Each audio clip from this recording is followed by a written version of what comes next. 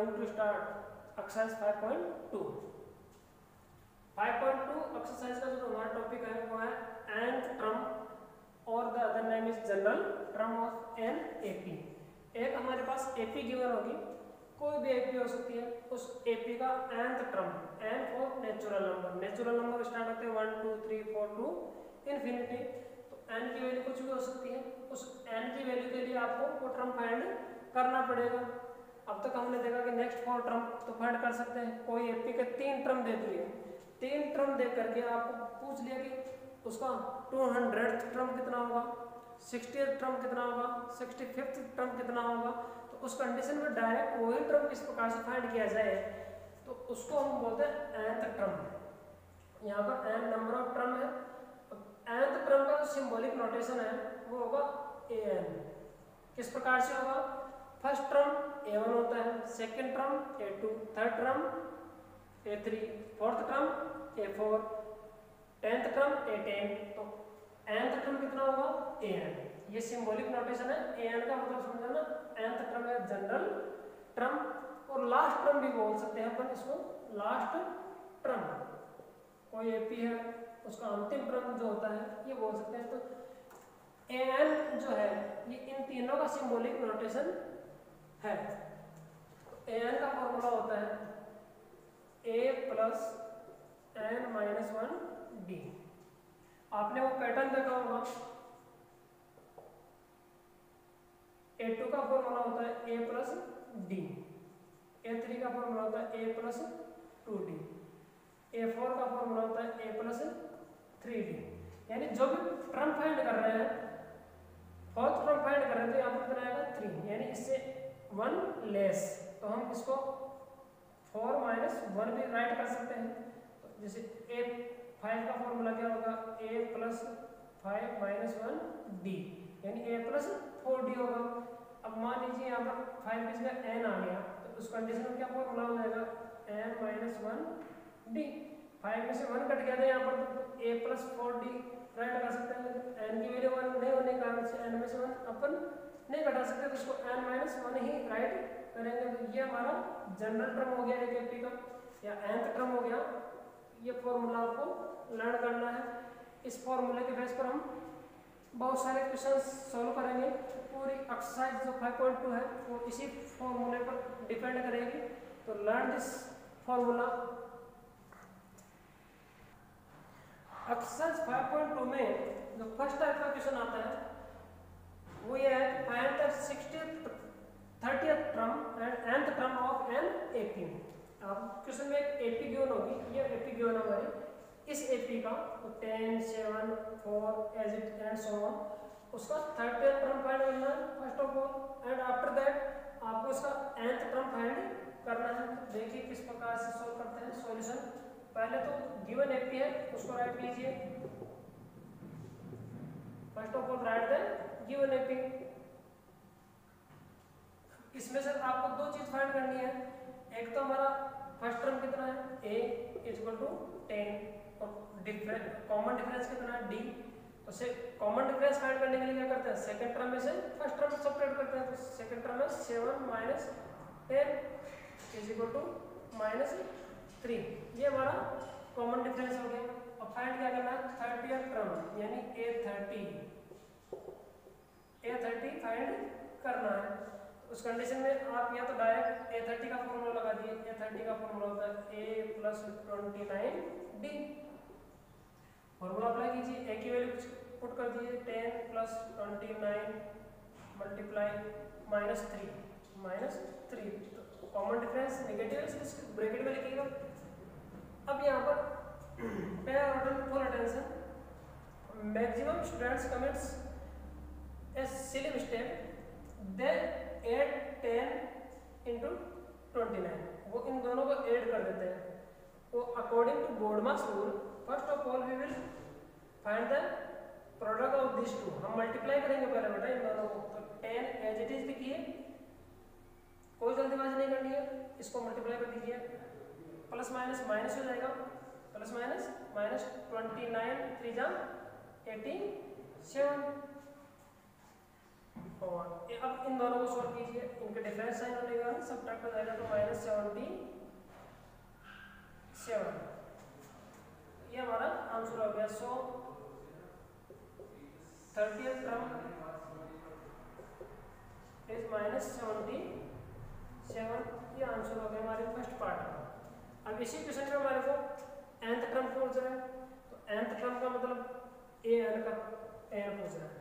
Apply the formula of an what is the formula of an a plus n minus 1 d put the value of a and d a the value of a is 10 plus there is no value of n the number of terms not given only nth term find करना तो put n as it is n minus 1 d d की value minus 3 तो 10 plus multiply कर दीजिए inside minus three n plus three ten ये plus है, अंदर इसको मल्टीप्लाई कीजिए plus minus minus three n minus plus three तो ये हो गया टेन और three thirteen minus three n so nth term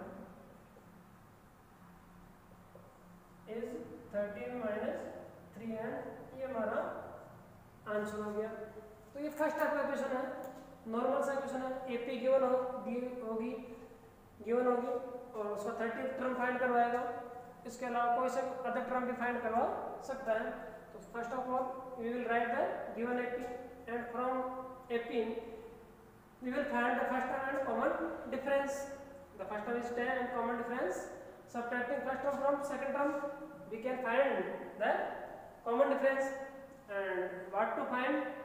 38 term then the symbolic notation of 38 term is a30 a30 is equal to question mark because we have to find the value of a30 apply the formula of a30 the formula of a30 is a plus 29 d.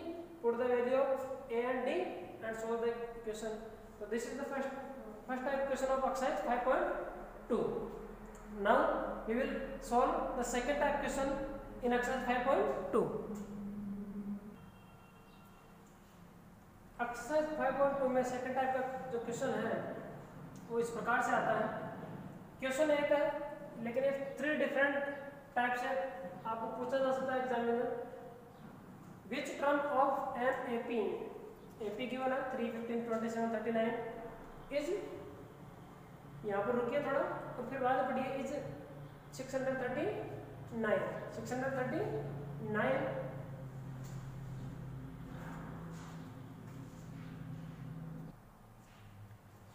या फिर इसको इस प्रकार से पूछा सकता है find the number of terms in AP AP वो गिवन है।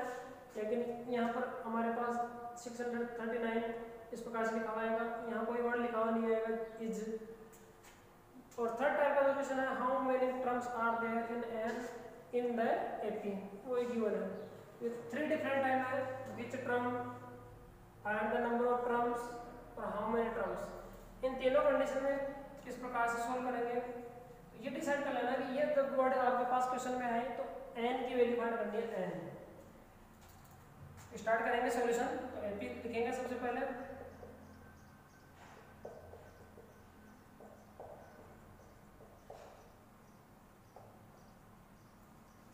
Is the first term of this AP? a is equal to 3 d is equal to 15 minus 3 is equal to 12 ये हमारा कॉमन डिफरेंस और फ़र्स्ट टर्म हो गया। अब find n की value find करनी होगा एन क्या फाइंड करना है? नंबर ऑफ़ टर्म्स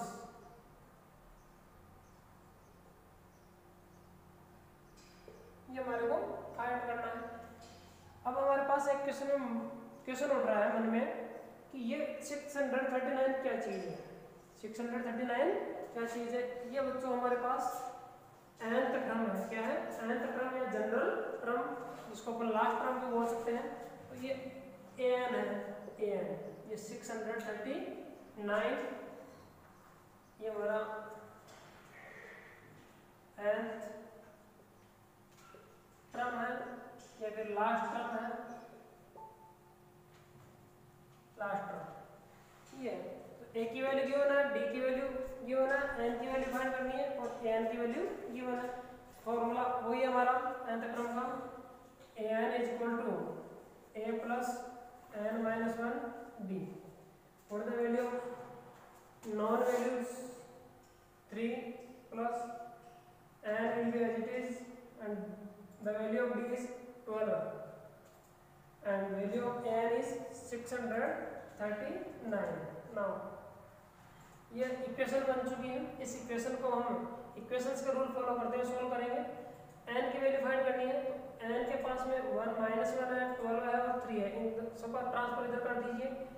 तो ये 3 का ट्रांसफ़र सबसे पहले होगा तो 3 इधर आकर के सब्ट्रैक्ट हो जाएगा। इधर प्लस साइन है, इधर माइनस हो जाएगा। ये minus three is equal to n minus one और ट्वेल्व इसमें से थ्री माइनस करेंगे सिक्स हंड्रेड थर्टी सिक्स अब ट्वेल्व अगर ट्रांसफ़र दिए ट्वेल्व इससे मल्टीप्लाई हो रहा है तो इधर होकर के डिवाइड हो जाएगा। Twelve is equal to n minus one इसको डिवाइड कर लीजिए। डिवाइड करने पर हमारे पास